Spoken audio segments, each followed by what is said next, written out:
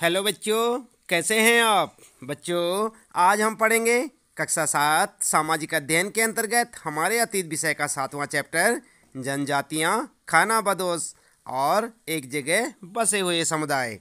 हम आपको बताएँगे इस पाठ से संबंधित प्रश्नों के उत्तर, लेकिन उससे पहले आइए देख लेते हैं एक झलक इस पाठ की, ताकि आपको पाठ अच्छे से समझ आ जाए।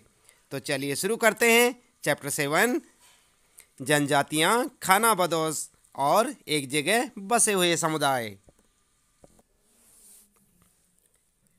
तो बच्चों, आप देख रहे हैं ना यहाँ पर? ये है आपका सातवां पाठ, जनजातियाँ खाना बदोश और एक जगह बसे हुए समुदाय। आप इस पाठ को ध्यानपूर्वक पढ़ें बच्चों। आप यहाँ से भी पढ़ सकते हैं इस पाठ को और अपनी पाठ्य पुस्तक से भी। लेकिन एक बार इस पाठ को अच्छे से पढ़ लेंगे। तो आपको इस पाठ में बताए हुए प्रश्नों के उत्तर अच्छे से समझ आ जाएँगे। तो देख रहे ना आप यहाँ पर, ये है जनजातीय लोग कौन थे? और इसके बाद आगे यहाँ पर आप जान सकते हैं कि ये कहाँ कहाँ बसे हुए थे, किस प्रकार की इनकी व्यवस्थाएँ होती थी, और किस किस प्रकार की, किस किस जातियों के ये लोग थे। जैसे कि यहाँ पर आप देख सकते हैं खाना बदोश और घुमंत लोग कैसे रहते थे, इनके रहने का तरीका क्या था ये सब जानकारियाँ आपको इस पाठ में मिलने वाली हैं। तो इस पाठ को एक बार आप ध्यानपूर्वक पढ़ लें, उसके बाद हम आपको सीधे बताएँगे इस पाठ से संबंधित प्रश्नों के उत्तर। कुछ प्रश्न इस पाठ के अंदर से दिए हुए हैं और कुछ जो है पाठ के अंत में पूछे गए हैं। तो दोनों प्रकार के प्रश्नों के उत्तर हम आपको यहाँ पर दिखाने वाले हैं। आप देख सकते हैं यहाँ पर बदलता समाज, नई जातियाँ और श्रेणियाँ। किस प्रकार से ये विकसित हुई, ये सब जानकारियाँ आपको यहाँ पर मिलने वाली हैं। तो बच्चों, ये देखें यहाँ पर, नज़दीक से एक नज़र। और इसके बाद यहाँ पर आप जो है, इस पाठ में पूरी जानकारी ले सकते हैं बच्चों। आप अपनी पाठ्य पुस्तक से भी पढ़ सकते हैं और यहाँ से भी इस पाठ को पूरा पढ़ें। तो इस प्रकार से यहाँ पर देख सकते हैं और इस पाठ का यहाँ पर ये यह निष्कर्ष दिया हुआ है कि किस प्रकार से, क्या कुछ हुआ, क्या कुछ बदला और समाज जो है, कैसे आगे आगे प्रगति करता गया। इसके बाद यहाँ पर जो है, कुछ प्रश्न आपके लिए। जैसे यहाँ पर देख रहे हैं, आप कल्पना करें। और यहाँ पर मेल बिठाने के लिए है प्रश्न। फिर रिक्त स्थान है आपके। और उसके बाद जो है, समझें। आइए समझें। जैसे यहाँ पर लिखा हुआ है, अहोम राज्य का प्रशासन कैसे संगठित था? ये सारे प्रश्न जो है, आपके लिए काफ़ी इंपॉर्टेंट है बच्चों। और इनका उत्तर हम आपको यहाँ पर देने वाले हैं। तो चलिए शुरू करते हैं और जान लेते हैं अब सीधे इस पाठ से संबंधित प्रश्नों के उत्तर, जिन्हें आप अपनी नोटबुक में नोट करेंगे और उन्हें अच्छे से याद भी कर पाएँगे। तो चलिए शुरू करते हैं इस पाठ के प्रश्न उत्तर। बच्चों, आप देख रहे हैं यहाँ पर। सबसे पहले हम आपको बताते हैं यहाँ पर पाठ के अंत में। यहाँ पर जो है, सबसे पहले हम आपको बताएँगे पाठ के आंतरिक प्रश्न। यहाँ पर आप ध्यान दें बच्चों, पाठ का नाम हमारा है जनजातियाँ, खाना बदोश और एक जगह बसे हुए समुदाय। और हम आपको बता रहे हैं, इस पाठ के प्रश्न उत्तर। सबसे पहले आंतरिक प्रश्न की बात करते हैं। आंतरिक प्रश्न समझते हैं ना आप बच्चों? आंतरिक प्रश्न होते हैं, जो प्रश्न पाठ में बीच बीच में पूछे जाते हैं। थोड़ा सा पाठ पढ़ा आपने, उसके बाद कोई प्रश्न आता है, फिर उसके बाद पाठ शुरू हो जाता है। तो पाठ के बीच बीच में जो प्रश्न पूछे जाते हैं, उन्हें कहते हैं आंतरिक प्रश्न। पाठ के आंतरिक प्रश्न। और यहाँ पर आप देखेंगे, पाठ के, जब आप पाठ पढ़ेंगे बच्चों तो आपको बीच बीच में प्रश्न मिलेंगे। जैसे एक पहला प्रश्न यहाँ पर है, उपमहाद्वीप का एक भौतिक मानचित्र लेकर वे इलाके बताइए जहाँ जनजातीय लोग रहते या रहे होंगे। और आप देख सकते हैं, ये प्रश्न आपको दिखाई देगा। 92 यानी कि बयानबे नंबर पेज पर आप देख सकते हैं, इस प्रकार का एक प्रश्न आपको मिलेगा। उत्तर क्या लिखेंगे आप उसका? इस प्रकार से आप उसका उत्तर लिख सकते हैं। उत्तर में लिखेंगे उपमहाद्वीप में जनजातियों के निवास स्थान और लिखेंगे एक साइड में जनजाति, एक तरफ़ राज्य। देख रहे ना आप? यहाँ से जो है इसके दो पार्ट हैं। एक तरफ़ लिखेंगे जनजाति, एक तरफ़ लिखेंगे राज्य।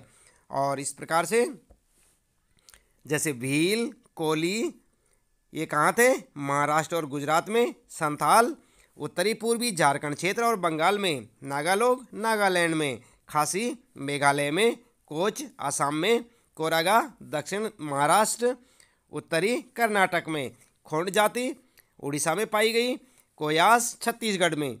और इसी प्रकार से गोंड गोंड जो थी, मध्य प्रदेश और छत्तीसगढ़ की जाति है और महाराष्ट्र, आंध्र प्रदेश की भी। और इसके बाद है दसवां, वादागस और मारवाड़, ये तमिलनाडु में जाटवास गुजरात में। मुंडा, झारखंड, बंगाल में पाई गई और तेरवा यहाँ पर समास, अर्जुन, बलूची, लंगा, जंजुहा, ये सब जातियाँ कहाँ? पाकिस्तान में। तो ध्यान दें बच्चों, इस प्रकार से आप जो है, इस प्रश्न का उत्तर लिख सकते हैं, पहले प्रश्न का उत्तर। इसके बाद बात करते हैं यहाँ पर दूसरा प्रश्न और उसका उत्तर।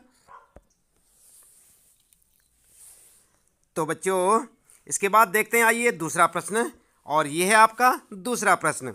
पता करें कि आजकल गाँवों से शहरों तक अनाज ले जाने का काम कैसे होता है? बंजारों के तौर तरीकों से यह किन मायनों में भिन्न या समान है?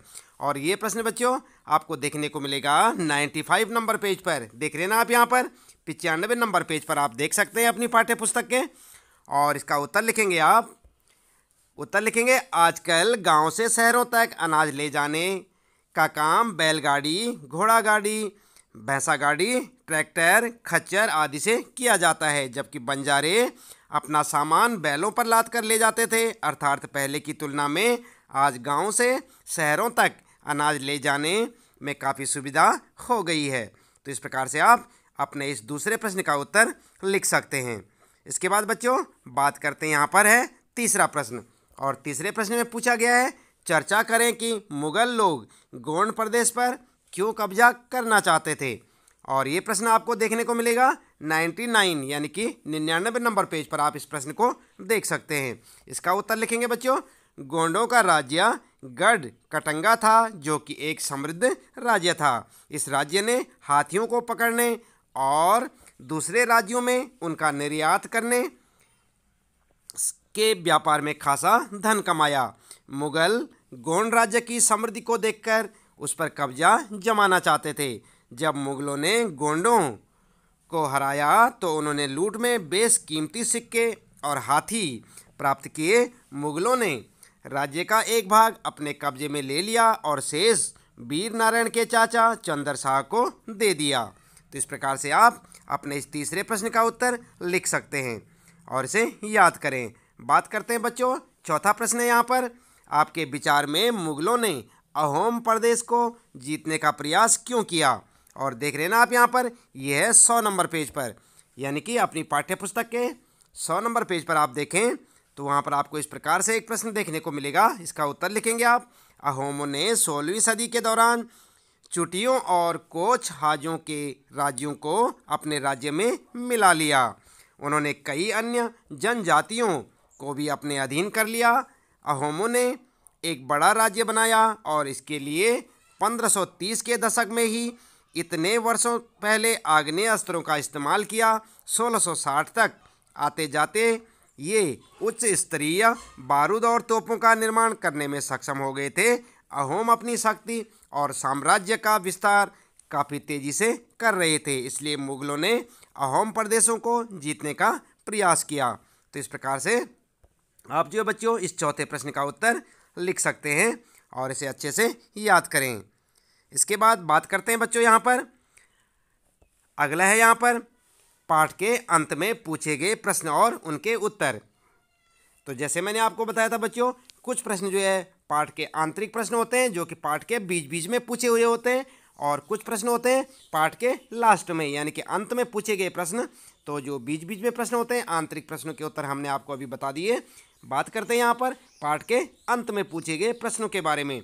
ये हैं आपके, पाठ के अंत में पूछे हुए प्रश्न हैं, जिन्हें आप जो है, जब आप अपना चैप्टर पढ़ेंगे, पूरा चैप्टर पढ़ें, उसके लास्ट में आप देखेंगे कुछ प्रश्न हैं, और वहाँ पर है सबसे पहले आपके लिए फिर से याद करें। और यहाँ पर जो है, पहला प्रश्न है, निम्नलिखित में मेल बिठाएँ। तो ये जितनी सारी बातें यहाँ पर लिखी हुई हैं, इनमें आपस में आपने मेल करना है। और किस तरह से करेंगे? चलिए, हम आपको इसका उत्तर दिखा देते हैं बच्चों। तो उत्तर में आप इस प्रकार से इनका मेल करेंगे, देखें उत्तर।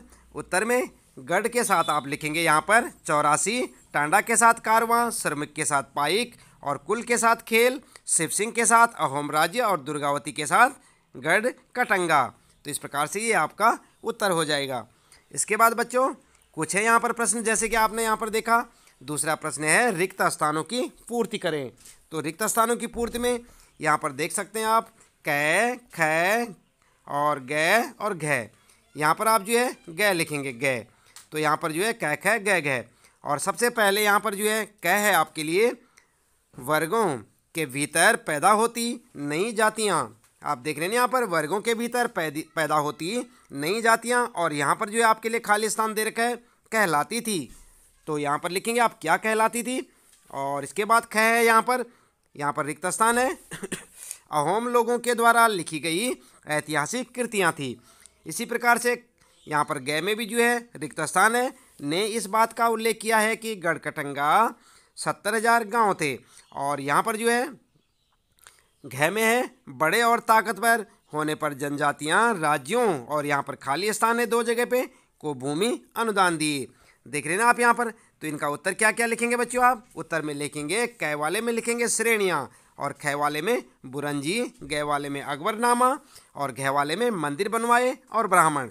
यानी कि घ वाले में आपको दो जगह पर रिक्त स्थान भरना है।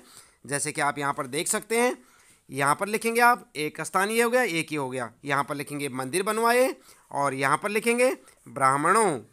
तो इस प्रकार से आपके इस प्रश्न का उत्तर हो जाएगा। इसके बाद बच्चों बात करते हैं, तीसरा प्रश्न है यहाँ पर।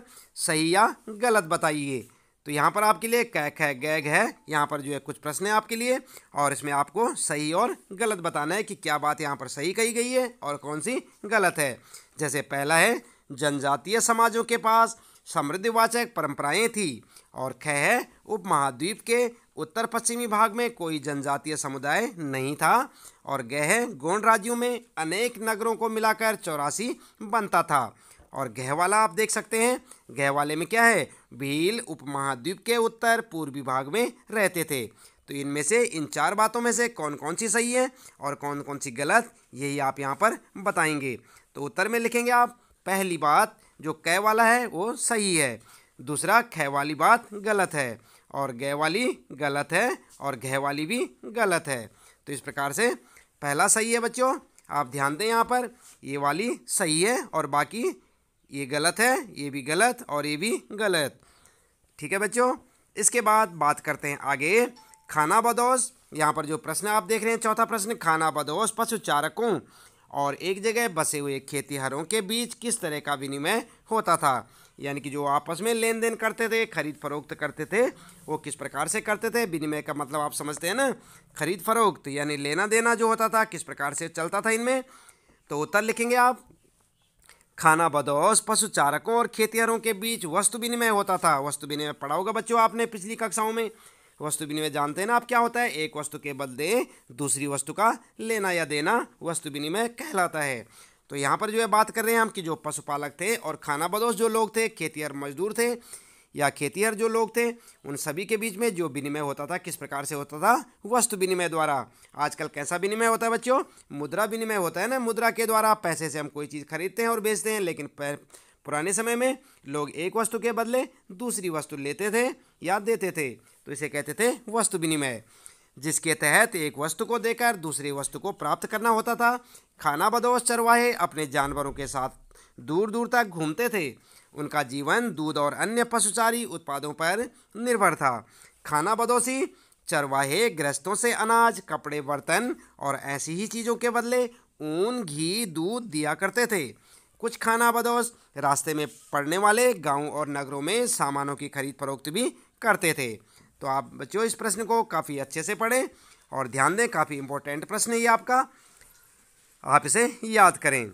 इसके बाद बात करते हैं यहाँ पर, आइए समझें। और पांचवा प्रश्न है, अहोम राज्य का प्रशासन कैसे संगठित था? उत्तर लिखेंगे, अहोम प्रशासन को संगठन, जो अहोम प्रशासन था, उसका संगठन निम्न प्रकार से संगठित था। किस प्रकार से था बच्चों? ये पॉइंट बना के लिखेंगे आप। नंबर एक, सत्रहवीं शताब्दी के पूर्वार्ध तक अहोम प्रशासन केंद्रीयकृत हो चुका था। नंबर दो, अहोम समाज कुलों में विभाजित था, बाद में कुलों में एकता भंग हो गई। और तीसरा पॉइंट लिखेंगे एक कुल, यानी कि खेल के निमंत्रण में प्रायः कई गाँव होते थे। किसान को अपने ग्राम समुदाय के द्वारा ज़मीन दी जाती थी। समुदाय की सहमति के बगैर राजा तक इसे वापस नहीं ले सकता था। ठीक है बच्चों तो इस प्रकार से लिखेंगे, एक कुल, या आप उसे खेल भी कह सकते हैं। कुल का नाम ही यहाँ पर खेल दिया हुआ है। इस प्रकार आप अपना उत्तर लिख सकते हैं।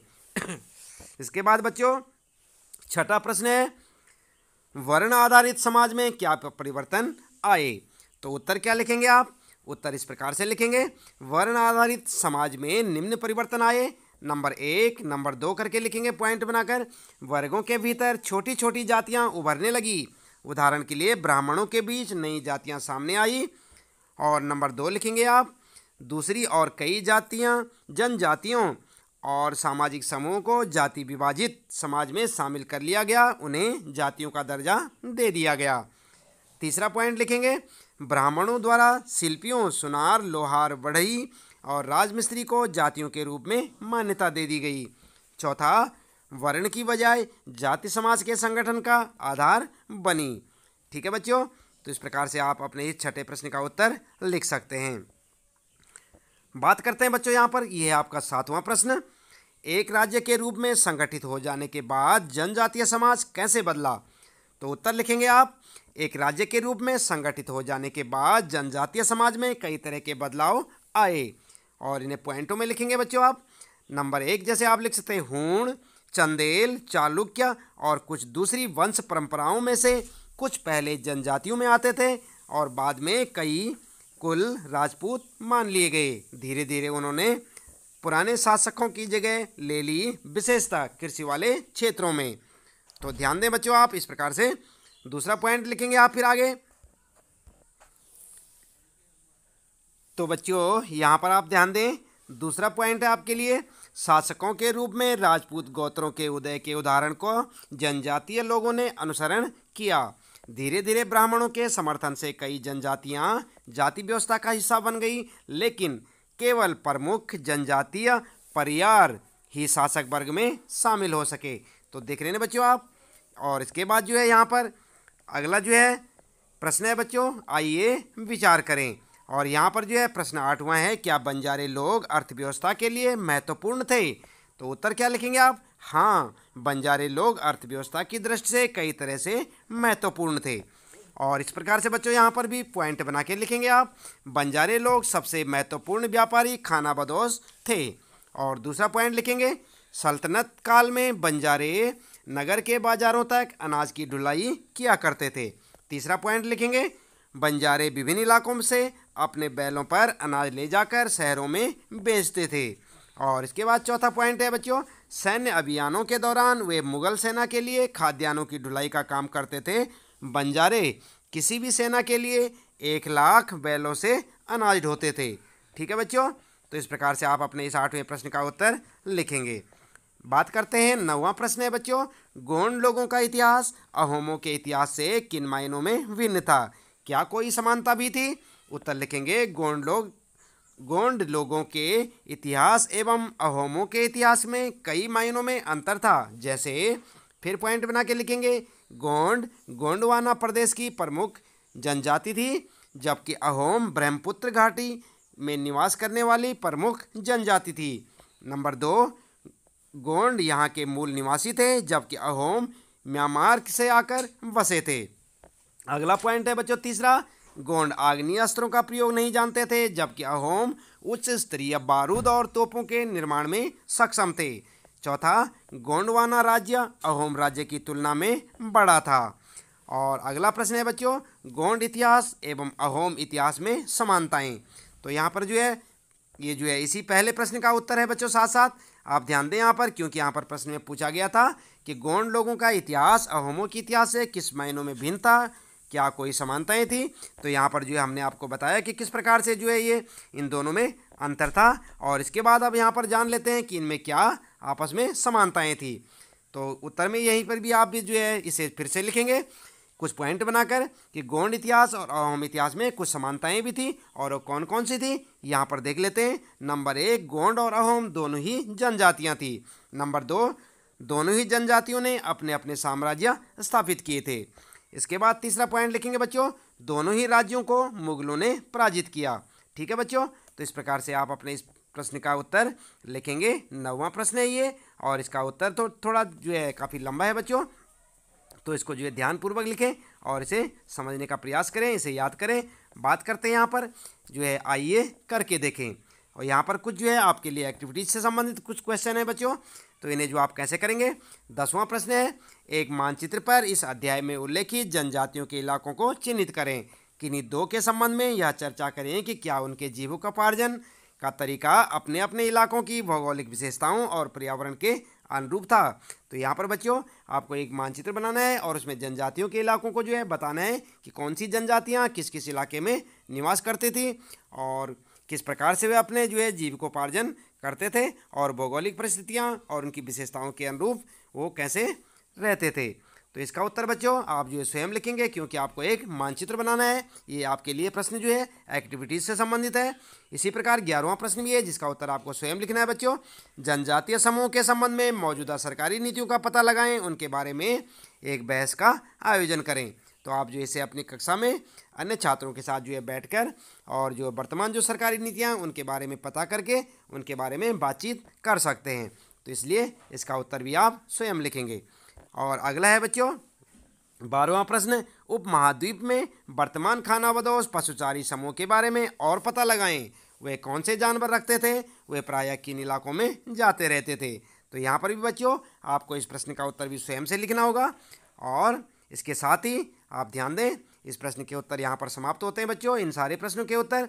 आप इस पाठ को अच्छे से पढ़ें, अच्छे से याद करें, ताकि आपको परीक्षा के समय कोई परेशानी ना हो। तो आप ध्यान दें बच्चों, आज हम पढ़ रहे थे कक्षा सात, हमारे अतीत का, जो है सातवां चैप्टर, जनजातियाँ, खाना बदोश और एक जगह बसे हुए समुदाय। हमने आपको बताए इस पाठ से संबंधित प्रश्नों के उत्तर बच्चों, जिनके पास पुस्तक है, वो अपने पाठ्य पुस्तक से इस पाठ को अच्छे से पहले पढ़ लें, और जिनके पास नहीं है, वो इस वीडियो के माध्यम से भी इस पाठ को पूरा समझ लें एक बार बच्चों। इसके बाद मिलते हैं अगले अध्याय में, चैप्टर एट में। तब तक के लिए लेते हैं आपसे विदा। आपका दिन शुभ हो बच्चों। आप जो है ध्यानपूर्वक अपनी नोटबुक में इन सारे प्रश्नों को नोट कर लें।